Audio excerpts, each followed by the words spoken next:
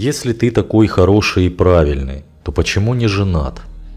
Странный комментарий, который у обеих сторон вызывает недоумение и агрессию.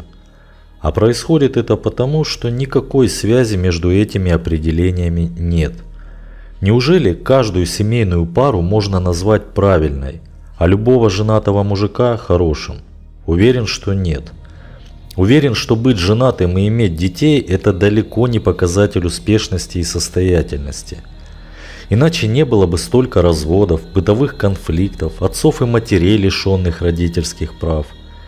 Если я не женат, разве это значит, что во мне какая-то проблема? Нет, друзья, все намного ужаснее. Я один, потому что не боюсь быть одним – потому что я знаю, что вполне способен сам отвечать за свои поступки, сам себя обеспечивать. У меня нет нужды кому-то жаловаться о своих проблемах.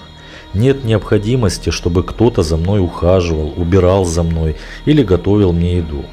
Мне не нужна жена для этого. Если вы думаете, что я не способен любить и уважать, то вы сильно ошибаетесь.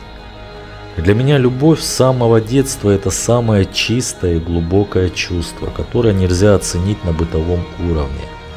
Для меня то, что вы считаете одиночеством, это спокойствие и уверенность. Это ответственность перед самим собой в первую очередь.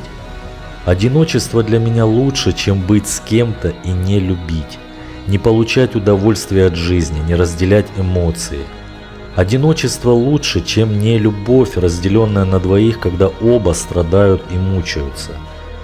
Я никогда не понимал фразу «тебе уже пора жениться». Что значит «пора»? Кому это нужно? Потому что мои друзья и одноклассники все женились? Только поэтому? Не хочу. Это не повод для меня. Мы не выбираем родителей, как и детей не выбираем. Но найти пару, с которой я буду воспитывать своих детей, я могу. Выбрать ту, которая будет матерью для моего ребенка и воспитывать его так, как этого будем хотеть мы вдвоем. Я не спешу жениться, потому что так сделали другие. Я хочу найти ту, которую буду любить и которая будет любить меня.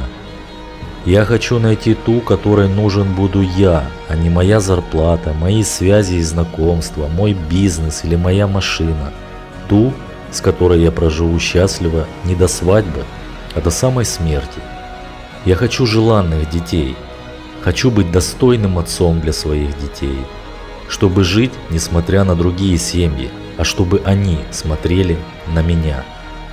Наше общество может навешивать нам любые стереотипы, но только мы должны решать, как нам жить.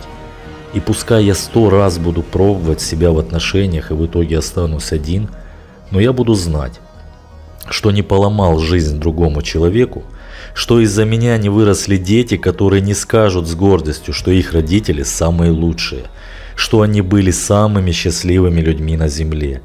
Для меня одиночество – это начало и возможность создать счастье, а для кого-то это уже последствия того, что он когда-то женился, чтобы быть как все.